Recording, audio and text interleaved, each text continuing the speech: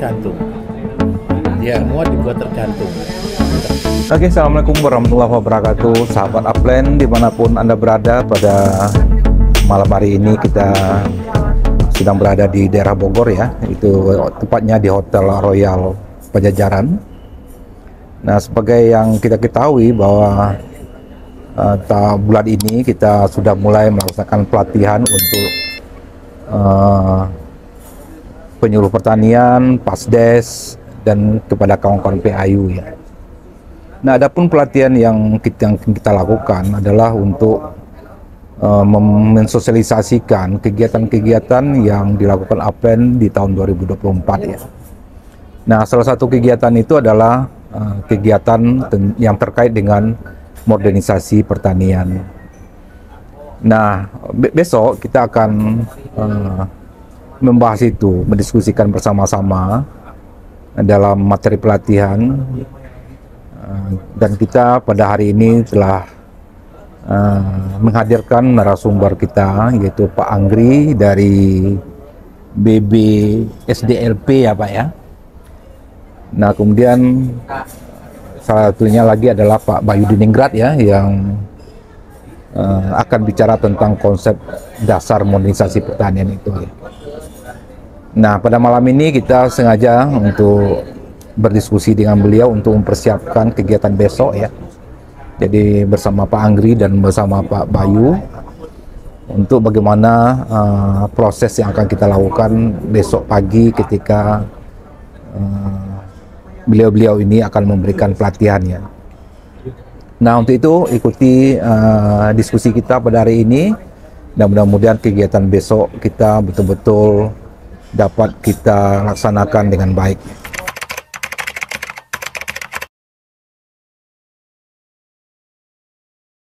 di luasan sekitar 500 meteran atau 350 meter meter pak. Nah tapi kita minta kepada bang kepada uh, bukan dinas kepada kelompok tani yang kita ini keserahkan kepada kelompok tani ini pak.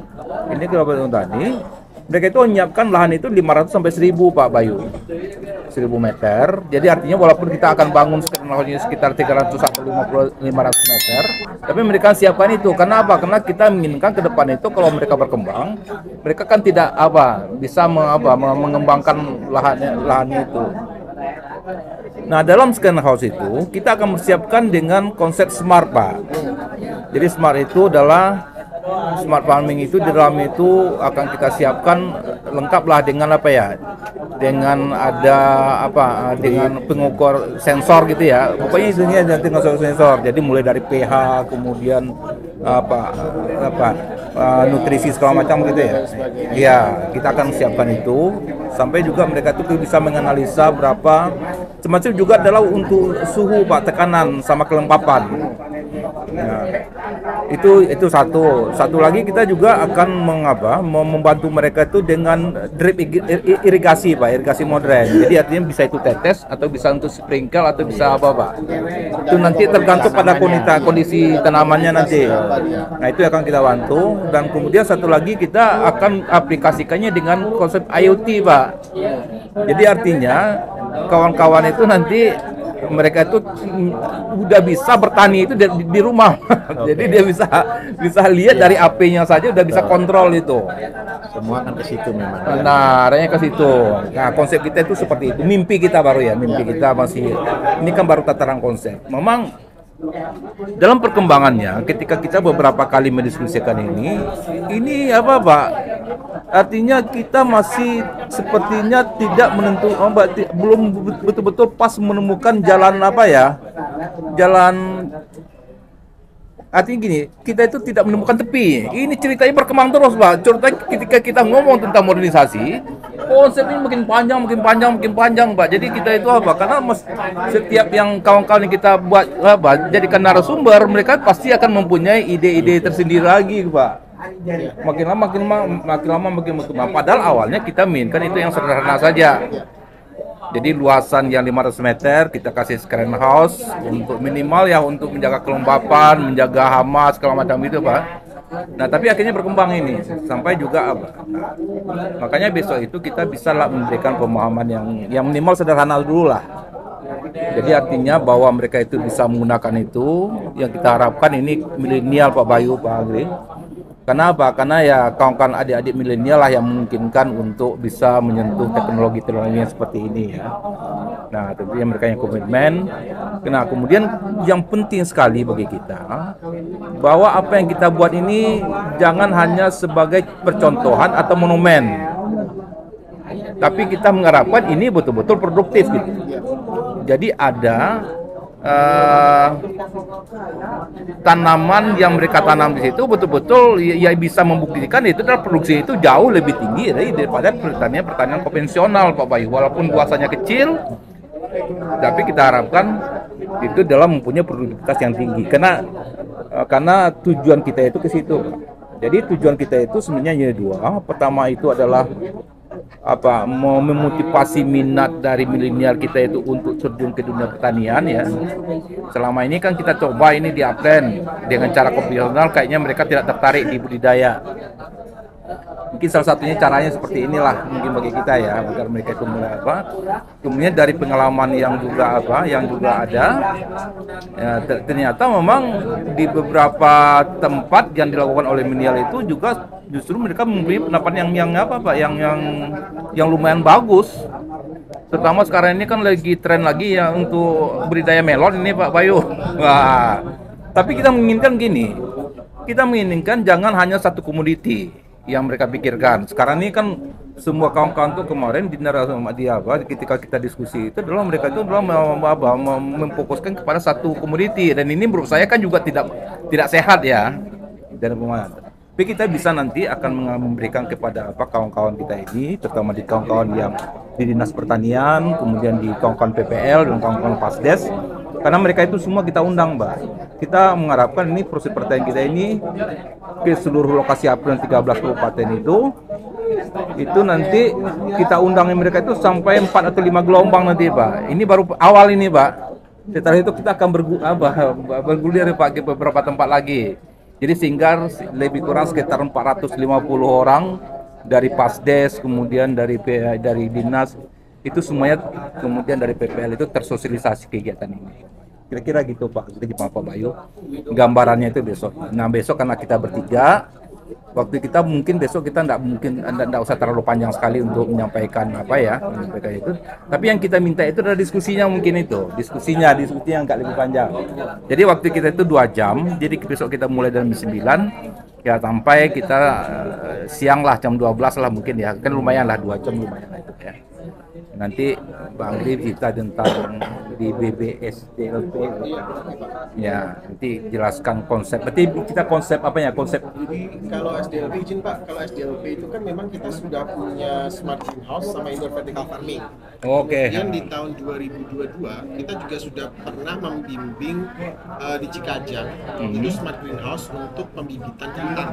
Oh pembibitan kentang. Iya itu kita yang uh, develop sama-sama develop dengan dinas. Jadi dinas menyediakan smart greenhouse-nya kita menyediakan IoT dan sistemnya Nah, uh, sebagai tambahan informasi Pak, sebetulnya uh, otaknya sudah kita bikin Pak di, di Garut.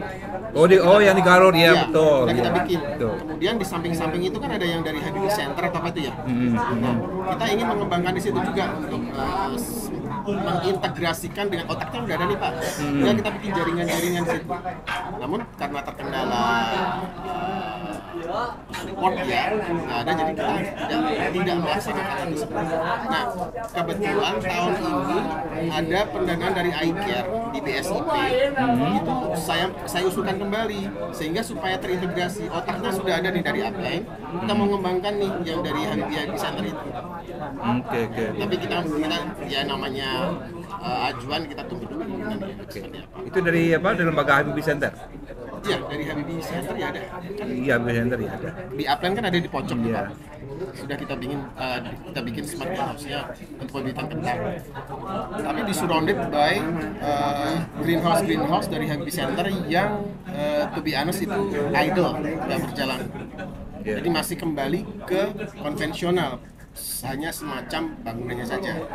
Sementara kita sudah punya otak, sebenarnya tinggal tinggal menyambung-nyambungkan dulu pak Oke. dengan bikin sensor di situ Ya. itu yang kita usulkan di eh, kegiatan iCare tahun ini Oke. jadi besok mungkin eh, saya kami ingin presentasikan terkait dengan pengalaman apa yang sudah kita bikinkan di mana saja mungkin juga untuk menarik minat dari petani Oke, mungkin gambarannya seperti itu Pak Bayu. Jadi mungkin eh, Pak Bayu besok akan mungkin menyesuaikan yang dengan seperti ya. saya akan menyesuaikan aja. Ya, tapi inti tapi intinya gini Pak Bayu. Inti inginnya kita itu adalah bagaimana kita mau apa ya, mau memancing niat dari petani milenial kita yang dulu Pak Bayu juga telah di, di, di- itu ya latih itu ya waktu itu ya. Nah, kemudian di ketemu kemudian Pak Bayu kan kuatnya di petani organik. Pak. Nah, jadi bagaimana nanti kita bisa kombinasikan ini Pak. Jadi dengan menggunakan teknologi yang seperti ini memungkinkan nggak kita menggunakan pupuk organik untuk itu? Nah, itu yang itu yang satu yang penting. Itu satu. Yang satu dulu adalah bagaimana kita itu bisa memberikan wacana. Nanti kita saya minta di Pak Bayu itu adalah menjadi wacana bahwa apa yang kita lakukan di situ itu bukan hanya sebuah monumen Pak, tapi adalah betul-betul sebuah produksi yang menjanjikan apa? Baik, kita bagi tugas. Iya. Jadi Bapak besok jelaskan alat. Ya Mulai dari smart greenhouse-nya semua sudah, alat-alatnya. Saya kan jelaskan konsep. Gitu Ya. aja, gimana gitu Pak. Soalnya saya akan jelaskan tentang modern tapi organik. Soalnya kalau yang modern yang banyak dipelajari ini kan mereka rata-rata, mereka kan tergantung. Ya. Semua dibuat tergantung. Tergantung dengan pupuk-pupuk kimia dan sebagainya. Tapi kita akan buat dengan cara organik. Kalau yang saya nyebutnya itu sawah palsu. Jadi sebenarnya media ini adalah superfood. Tapi organik. Jadi untuk melon, untuk cabai, untuk tomat, untuk padi, lah itu nanti kita akan bisa buat padi ini yang sekarang ini sudah panen ini sudah tembus 20 ton Pak per hektar. Breaker ya. Hmm, jadi kita pakai model smart harus smart. Memang harus pakai sistem kayak melon itu polybag polybag. Tapi tinggal nanti ngatur di dripnya di penyiramannya. Soalnya padi itu kan sebenarnya bukan tanaman air. Hmm, oke. jadi ini anakannya rata-rata 60 sampai 70 perumpun Nah, terus yang kedua untuk cabai, untuk tomat, untuk horti semua sudah sudah bagus lah. Jadi nanti saya akan jelaskan konsep modern. Soalnya yang modern kalau kita terjebak kayak di barat, itu lahannya kan luas. Lah yang sekarang ini yang beredar hari ini yang modern-modern yang yang smart, yang kecil-kecil ini kan dipengaruhi dari Cina, Jepang terutama yang ke smart farmingnya. Nah, tapi kita akan buat kombinasi semuanya. Soalnya lahan pertanian kita kan ini jawaban untuk bagaimana menjawab lahan pertanian yang tinggal anggap aja 1,5 hingga 2000 meter itu cukup untuk bertani. Kan tidak ada cara lain kan berarti harus ke modern kan. Nah, itu yang kita mau buat di situ. Soalnya kalau luar negeri, kalau kita ke Eropa, Amerika, lahannya 100 hektar, Pak. Satu farming. Alatnya lengkap semua. hektar buku aja pakai pesawat Nah, iya, soalnya tanahnya luas. Tapi kita kan tidak mungkin petani kayak gitu. Kecuali korporasi. Ya. Nah, itu nanti Bapak yang jelaskan. Ya, jadi mungkin besok sebagai gambaran umum saja, mungkin bisa Pak Bayu juga memberikan gambaran juga ya bagaimana penerapan dari beberapa negara ya. Iya, saya akan Terutama jelaskan mungkin itu. berapa mungkin seperti apa ya, seperti Israel mungkin ya juga seperti apa dia konsep gitu ya. Mungkin akan berbeda dengan Belanda mungkin ya. Iya, atau berbeda Kanada. dengan Eropa. Mungkin itu bisa digambarkan. Kemudian apakah memang kita pilih itu atau kita memang pilih yang model kita? Gini, gini, gini. Nanti saya kan fokus di latar belakang kenapa kita harus ke modern. Iya. Modern itu sebenarnya kan cuma dua, Pak, efektif dan efisien. Iya. Cuman dua itu kata modern sebenarnya. Lah, modern, efektif dan efisien itu sebenarnya dari organik. Organik itu adalah organ. Organ itu adalah satu sistem yang tidak boleh terputus. Ya, lah nanti kita akan jelaskan bagaimana bertani supaya berhasil. Lah, untuk berhasil terakhir ini kan kendala. Kendala kita kan tenaga. Kendala kita ketepatan. Kendala kita di manajemen. Nah, karena itu tidak ada cara lain, harus pakai alat. Karena apa? Contoh kayak hujan kayak kemarin itu tanaman sayur itu tentu ya habis lah. Kecuali harus perlu screen atau kita pakai UV. Nah terus yang kedua ketepatan. Ketepatan tidak ada cara lain harus pakai alat. Ya. Nah sensor. Nah itu nanti bapak ya jelaskan di situ gitu. Boleh gitu kira-kira ya. Jadi nanti bapak melengkapi di belakang. Tapi saya kepengen begini pak. Saya kepengen menciptakan petani itu mandiri di desa pun mereka bisa punya. Soalnya goal kami adalah petani itu bisa mandiri pupuk, mandiri semuanya. Nah kalau alat-alat ini kan sudah dijual bebas dan ini tidak menjadi masalah sama sekali kan. Nah, soalnya yang kita pak hari ini pak yang sudah kita riset. Jadi kebetulan satu pak, saya ini punya petani yang super super kaya sudah, super kaya sudah. Pengeluarannya dia per bulan sudah di atas 13 pak M. Itu sekarang dia fokus ke pertanian total jadi dia kembangkan semuanya dan dia melakukan semua yang saya omongkan, Pak. Kalau saya pakai punya saya kan tidak abdol, Pak. Ya. Sekarang saya pakai punya murid saya yang sudah menerapkan dan hasilnya luar biasa. Cuman perlu teknologi. Nah kalau dia memang anti teknologi, Oh, gitu. dia ini orang kaya jadi dia nyangkul aja harus pakai nyangkul, nggak ada plastik, nggak ada mulsa gitu, nggak apa-apa lah itu kan dia kan gitu. Tapi yang petani yang milenial kendalanya kan tadi mas nggak mau ada rumput, nggak mau capek, syukur-syukur nyiram sudah pakai handphone aja lah itu sampai nanti yang hilang. Begitulah pak. Ya, mungkin ya gambaran kita seperti itu Pak ya. Kita Jadi saya tidak nyinggung alat ya, oke ya. Masnya oke. Jadi semua di situ. mungkin kita udah sepakat besok ya. Besok kita mulai jam 9 pagi Pak. Jadi waktu kita memang sedikit ya. Kalau dua jam itu memang dengan konsep yang kita ini Sudah itu pasti banyak, Pak. Ya cukup banyak, tapi mungkin akan kekurangan bagi peserta besok karena ini sesuatu yang baru.